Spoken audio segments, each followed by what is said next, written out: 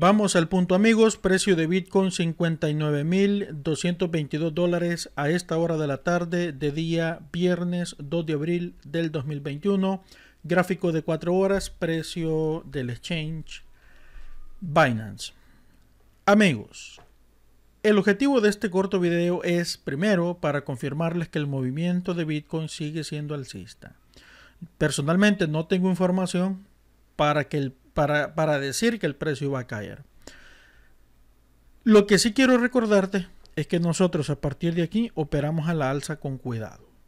Pero cuando está por tocar el punto cero y el precio no cae, la probabilidad más alta de nosotros es alcista. Pero veamos la acción del precio. Observa cómo cae a la media, observa cómo lo vuelven a bajar aquí nuevamente y la presión compradora se hace presente. ¿Lo ves ahí? El precio retrocede rápido. ¿Lo ves aquí? Retrocede rápido.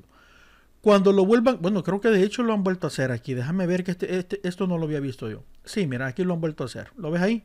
El precio cae y el precio retrocede rápidamente.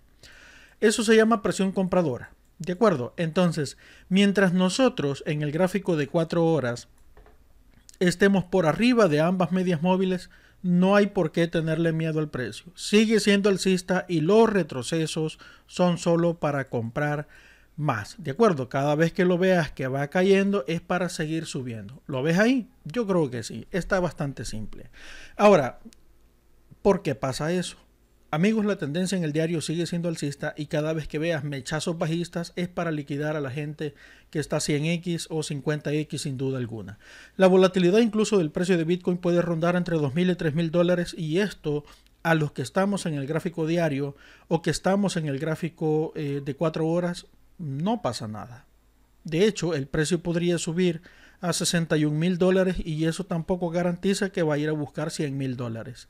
Recuerden que nosotros no compramos porque la gente diga o deje de decir. Siempre van a decir y siempre van a dejar de decir. Siempre lo van a mandar cuando está cayendo a cero y cuando está subiendo a 100 mil dólares.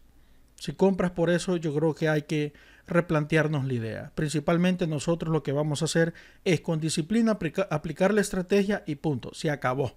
¿De acuerdo? Espero que esta información te sirva. Si es así, por favor, déjame tu like, suscríbete al canal si no estás suscrito, comparte el video con un amigo y nos vemos en, en una próxima oportunidad.